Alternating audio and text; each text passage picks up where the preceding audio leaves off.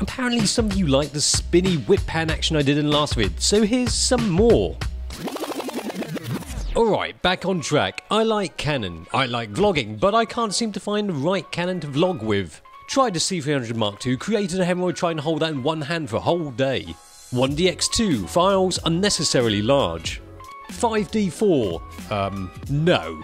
Which brings me to the EOS M6. This was made for vloggers. Kind of like the M5, which had the tilty flippy screen, but it flipped downwards, so if you have it on a tripod or on a Joby or whatever, you can't see the bloody screen. This seems to be the remedy.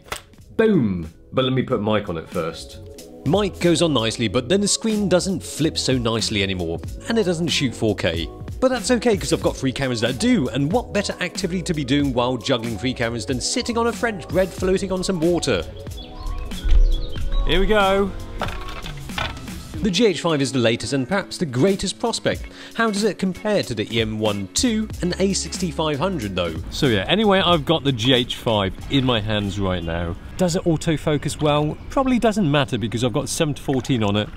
Everything is in focus. The ideal vlogging lens is an ultra wide. Couple this with a tiny sensor, it equals deep depth of field. Not much is out of focus anyway.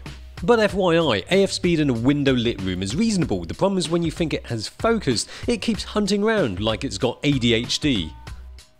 Another kick in the penis for the GH5 is that the EM12 focuses quicker, but the A6500 does a 1-2 in the gonads by outperforming both in terms of speed and general non-ADHDness. Still, at least the GH5 shoots fantastic looking video. Panasonic pretty much got it nailed with the GH5. 4K 10-bit. You've got 4K 50p as well. You can pay to have a V-Log option which has nothing to do with vlogging. It's a flat picture profile so you can grade it to however you want. Well GH5 has got more picture profile options. It's got V-Log which you have to pay for, but you've got Cine-like DNV. The Olympus doesn't have all those fancy picture profiles. It does have a flippy screen that has problems flipping when you have that mic plugged in though. You've tried this EM1 out, haven't you? I have tried it out. What do you think? I, it, it was like it was like tea without the tea bag. I mean, it was functional. Yeah, alright. You can say hello to the internet. Hi, internet. I actually really like the look of the Olympus's video straight out of camera. The colours look great. You can use the footage just like that. Saves having to grade, colour correct, whatevs. Subscribe to his channel. Yeah.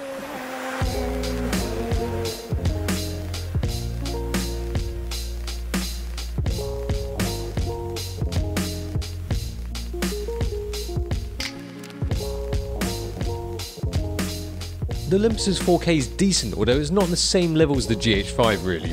But what about the vids from the A6500? We used A6500 when we were in the church. Do you remember that? Historic church. Would you like to tell a story about that, Paul? So, yeah, you came here on Sunday, right? Okay, this is what happened. It looked cool, and it was low light. The sun was coming in through all these windows, but then all of a sudden, I just hear, and the door opened. and this this guy just looks at me and he goes, "I hear to pray." The next sound I heard, literally, was just some cheap cotton slacks hitting this. Uh, Archaic flooring. He's without a hair. Shaved his chest, he's shaved his head. Kind of like the opposite of you then. Exactly. And he was wearing this tiny little black thong. so, And you've still got the photo as evidence. let's place it right here. Ding. But the weird bit was he'd come on his bike. In what sense? I think that's enough of that story. That's probably that's a great story. Uh, anyway, back to cameras. The rather diminutive yet formidable Sony A6500 is a camera that I've been using for some time. so the A6500 has got the best autofocusing system. What a oh, what a boob. All right, it's got the best autofocusing system. Good continuous autofocus. It shoots some super crispy 4K footage. I mean, we're talking extra crispy recipe here, but there's a huge ass butt here. Big pain in the ass with the Sony is that there's no tilty flippy screen, so I can't actually see what I'm framing. It's just all a guess. No flippy flappy screen. No flaps. Unbelievable. Mostly, it's not a huge problem. If you like to learn English really well, I'd recommend not to come to this place. Because you'll just learn a load of broken English. But when you start introducing other elements into the frame, like something in the background or a second subject, framing becomes a bit more challenging. Even worse with a third element. Without the screen, you might find that the framing is a bit of a shambles. You can't see if it's actually recording anything, and you can't check the sound. Yeah, there's no, there's nothing. The, the biggest problem is that you can't check the battery life without the flippy screen, and that is a big problem with the Sony's battery life. The battery in the Sony is smaller than the ones in Olympus and Panasonic. When you shoot 4K, you'll be changing batteries often. But another annoyance is rolling shutter. Not always a problem, but when you have some handheld moving shots, you start to see the wobbles. They all have in-body stabilization, but the Olympus and Panasonic are smoothest for walkie vloggy shots. I'm pretty sure the GH5 would work well on the end of any vlogging stick thing.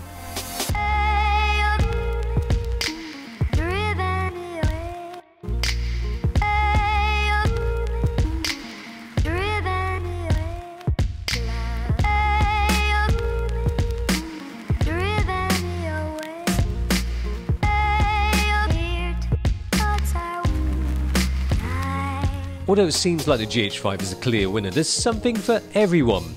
The GH5 packs an awful lot of goodness into a reasonably priced body at the expense of good AF. For the Olympus, it's all about those nice colours straight out of camera. And the Sony has the biggest sensor, top video quality and focus, but no flippy screen. Just pick the one that works best for you. Popped in for a spot of tea with mother. She lives on the lake, on Okay. the river. Can I have a little whiz?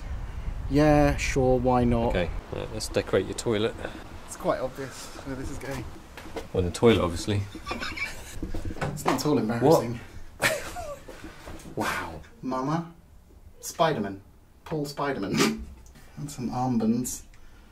But that's probably the crown in gold, isn't it? Shall I recreate it? No! Oh no! There you go. No! So it seems like the GH5 is my next vlogging camera. That is, unless Canon has a 4K 60 Mark II with flippy screen coming out really soon.